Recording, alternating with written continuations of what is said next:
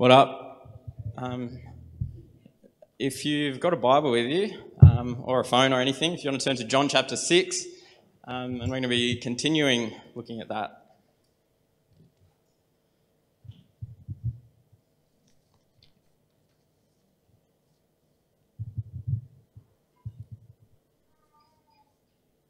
Uh, so we're going to be looking at John chapter 6, verses 16 to 24. And if you've been paying attention, you'll realize that we've just jumped a section.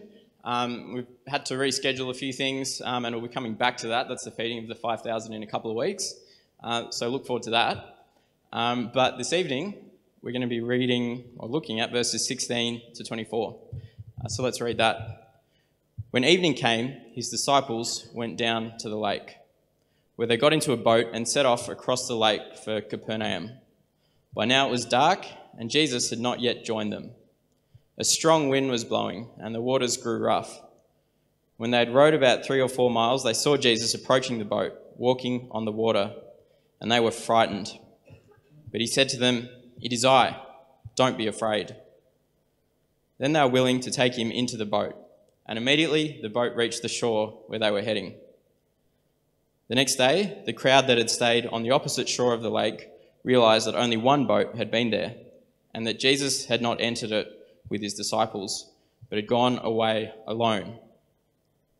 Then some boats from Tiberias landed near the place where the people had eaten the bread after the Lord had given thanks. Once the crowd realized that neither Jesus nor his disciples were there, they got into the boats and went to Capernaum in search of Jesus. Let's pray.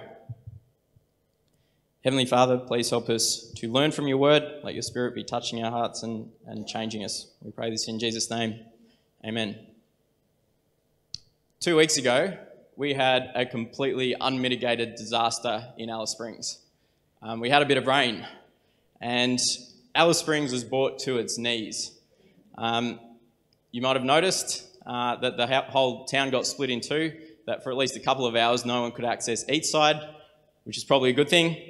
Um, and I was getting live stream photo updates from my housemate Sean of the, the bloke that was trapped uh, in the middle of the, the water, who got washed away in his car. Um, and it disrupted our entire lives. Um, I know some people get, didn't get to work, schools had the day off, um, and a lot of people had days off. Unfortunately, I didn't. Um, but it didn't just disrupt us on that day, it disrupted us for days after that. Um, it showed that nature really still has a lot of power over us. Um, even a, a, couple of days afterwards, which is probably almost a week later, my sister Rachel took my car out to Birthday Waterhole, which I didn't know about. and then I'm getting texts 24 hours later when I'm busy in court, and they're like, "We just passed," like unknown numbers texting me saying, "We've just passed your sister who's bogged. Um, send help, please." Thankfully, uh, she has good friends that actually go out and save her, um, that did save her. But that was all because the waters had ridden, ridden so high that she couldn't get to Birthday Waterhole.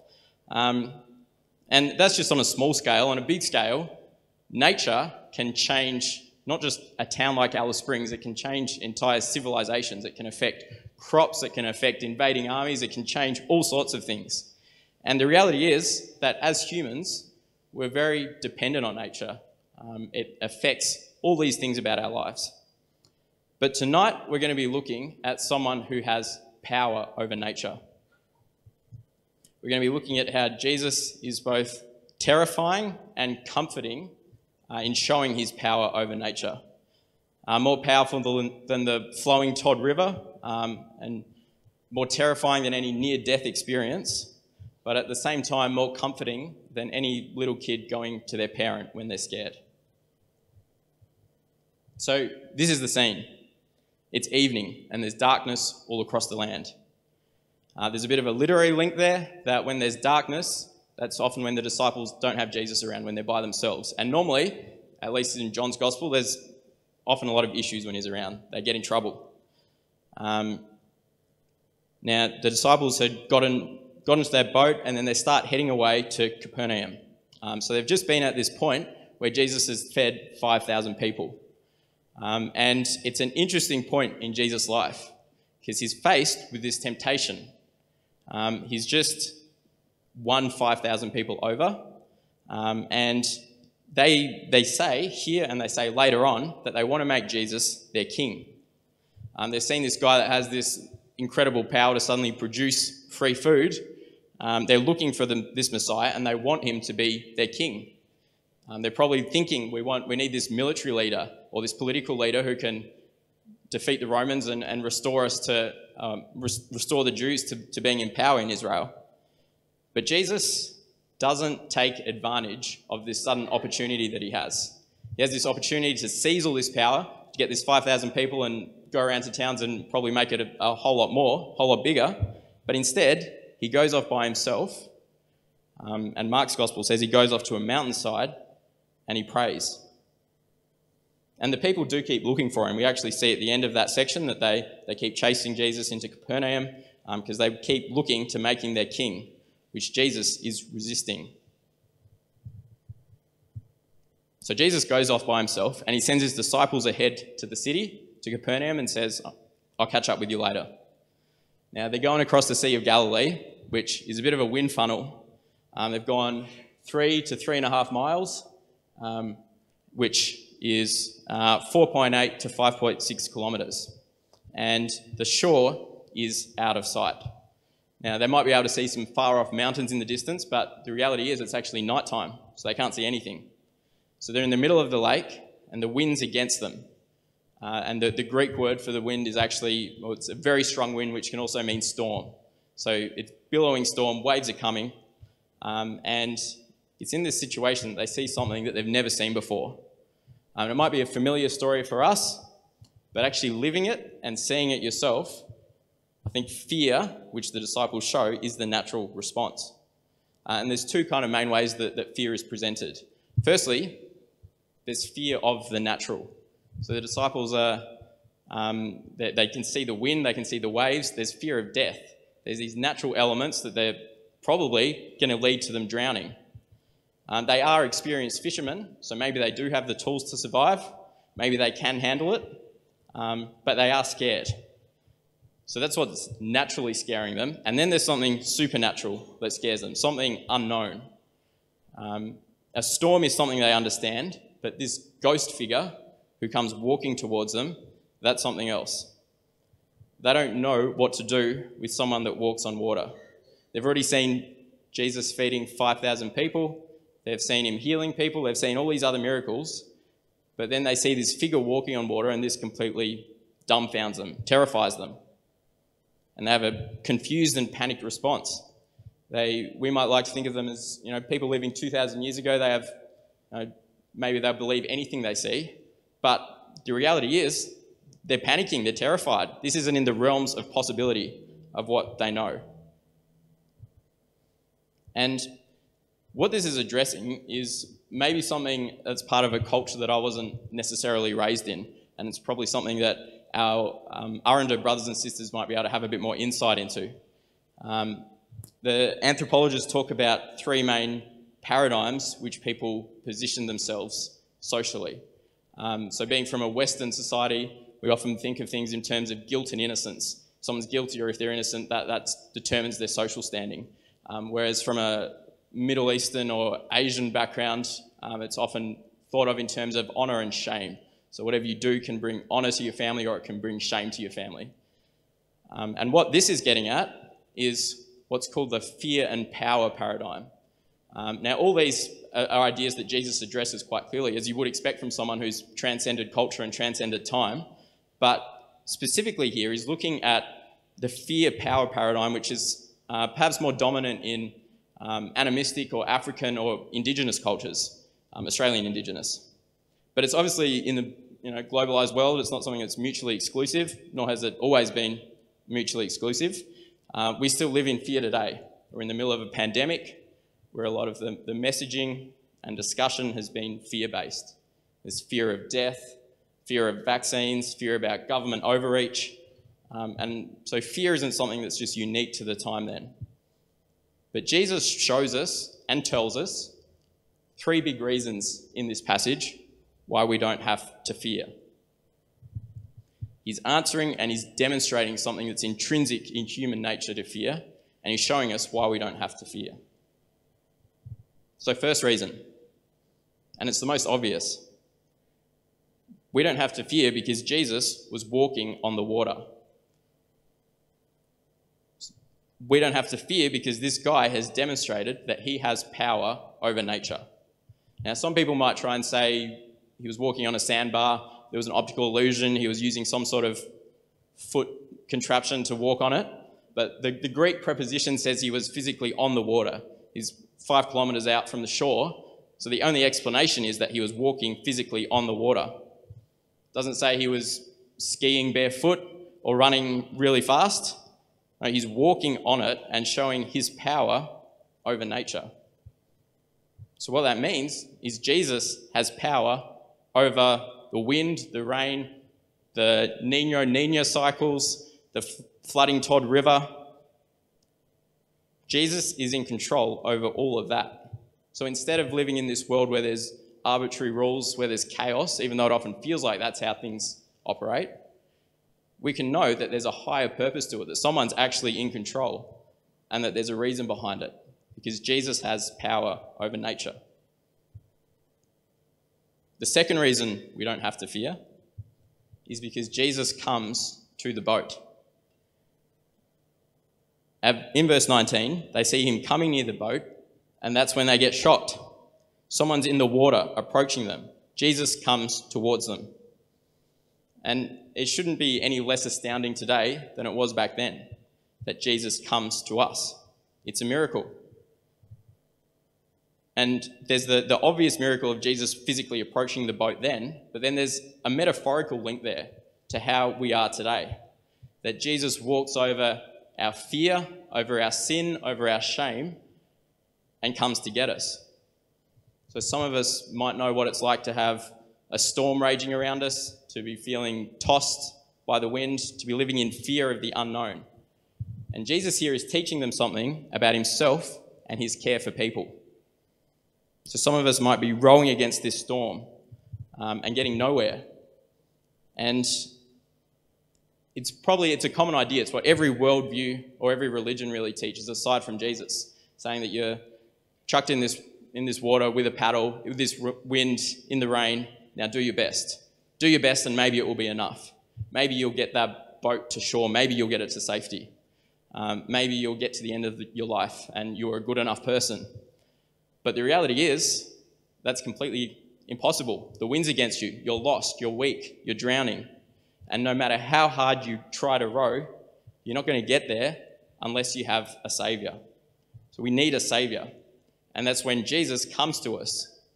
Um, he's not just walking on the water, but He's coming to us. He's crossing our sin and our shame and our fear. He does the miracle, He reaches us. And that's unique to Jesus. It's not dependent on us, but it's dependent on Him. He's the Saviour. Now, the third reason we don't have to fear is because of what Jesus says to his disciples. In verse 20, there he says, It is I, don't be afraid. Now, on the one hand, it's a very simple thing to say. Um, it sounds a bit like something that a parent might say to a child when the child's scared of the dark. Um, and it's incredibly comforting. Uh, it's, it's very simple. Um, Jesus doesn't come and give them some big TED talk about this is why fear is irrational um, and why, you know, give them a big dissertation on why they don't have to be fearful. No, he says, I'm with you. Um, exactly the same way a parent might speak to their child. Um, and it's that simple message that Jesus often gives to the most vulnerable and fearful people that he's there. And sometimes that very simple message is exactly what we have to hear in a difficult time. But there's also another level at what Jesus is speaking at. Um, he's saying something quite profound. Um, and we actually looked at this a few weeks ago when he was talking to the Samaritan woman. In the Greek, he's saying, ego eimi, um, which is the exact Greek words used to translate from the Hebrew in Exodus chapter 3, verse 14. Um, when Moses is talking to God in the burning bush, and Moses says to God, um, What should I call you? And God says, Call me I am, Yahweh. I am who I am. Um, and this comes after this whole stream of uh, Jesus demonstrating that he is that same God who led the Israelites out of Egypt, that saved them from slavery. He's just fed the 5,000, like given them bread from heaven, the same as God giving them manna in the desert. He, in that event, he also divided them up into 12 different camps, the same as the 12 tribes of Israel. He's gone off to a mountain to hear from God, the same as Moses. And now he's just walked on water. So not only did Moses split the water and walk through it, Jesus has one upped it and he's walked across the water. Um, and he's telling the disciples, um, kind of subtly, that not only is he there for them emotionally, but he is this God who has been there for the people of Israel for the last 2,000 years. And the point that Jesus is trying to get to his disciples isn't just trying to tell them to live a certain way or be better people. He's trying to tell them who he actually is. So when he comes and he says, This is me, don't be afraid, it's a lot more than just any parent you know, condoling or comforting their child. He's actually, a, he means a lot more because he is the I am, the same God who's been there for his people. So, how does this change how we live? How does this change what we do? First big point we don't have to live in fear. Where there's fear, or where is there fear in your life that you have to be reminded that Jesus is there for you? Are there any fears in your life that you're letting control your thought processes? Is it fear of losing someone or something, or fear that something might happen, or fear of this pandemic? or new strains of the virus or fear of spiritual oppression, whatever it is, we know that Jesus has power over it. And we can see that we don't need to keep rowing, that we don't need to keep slaving away in the middle of the night and facing these giant waves because Jesus walked on those waves. Jesus walked on them, came to us in our boat, and saved us. Saved us from these insurmountable forces that we're against, and in our powerlessness, He reaches out to us and saves us. So, in our fear of death, in our fear of eternity, in all these natural forces that are coming and these supernatural forces, Jesus is there. And this isn't something that's far off and theoretical in the future. Uh, in this chapter, in verse 21, it says, uh, When they were willing to take him into the boat, and immediately the boat reached the shore where they were heading. Jesus immediately takes them to the safe shore um, there's security immediately for people following Jesus. So ultimately, in that fear and power dynamic, there's no longer any need to live in fear of these forces of nature and these supernatural forces. But it doesn't mean that fear isn't a part of our human experience, but it means that fear can be directed to the appropriate location. Um, instead of fearing these forces that are out of control and that we don't understand, there is power that ultimately lies with the one who controls the wind and the waves and everything around it. And that's where appropriate fear lies. Uh, it's not a fear that terrifies us of Jesus, um, there's a mystery to it. Um, the Bible often talks about the fear of the Lord and describes the fear of the Lord as being the beginning of wisdom. Um, but it's not this fear of wind and waves and the unnatural things or supernatural things. It's a fear of reverence. Um, it's a bit like going to Ormiston Gorge or Kings Canyon and going to the edge of one of the cliffs, and you, you treat it with reverence. Um, you, you respect it. You don't start doing gymnastics on the edge of the cliff um, because there's a, it deserves a respect and a wonder. And that's where appropriate fear goes towards God. So, this is the God who showed himself to the disciples and still shows himself to us today. So, we don't have to fear. Jesus has reached us. He, is, he has power over the natural and supernatural. He's saved us in the middle of the night, in the middle of a storm. He's our Savior, uh, and He has the power over everything that we fear. So let's pray.